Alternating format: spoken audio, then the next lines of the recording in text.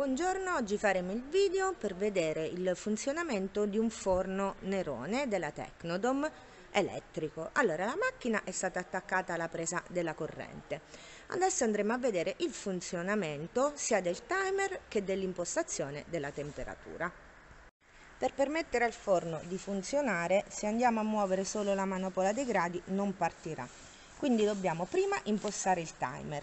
Qui mettiamo verso infinito, quindi non avremo un tempo.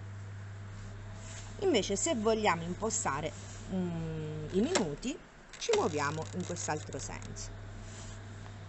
Qui invece andiamo a impostare appunto la temperatura. Da 0 mettiamo al massimo. Quando il forno raggiungerà la temperatura si spegnerà qui la luce.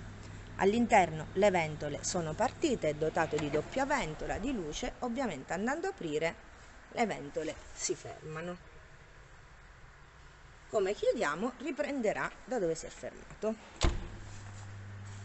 Adesso dobbiamo solo attendere che la macchina arrivi a temperatura. Allora, vediamo la temperatura interna piano piano come sta salendo.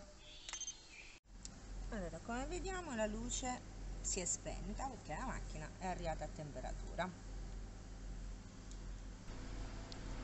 Ovviamente per spegnere andiamo a bloccare il timer e riabbassiamo.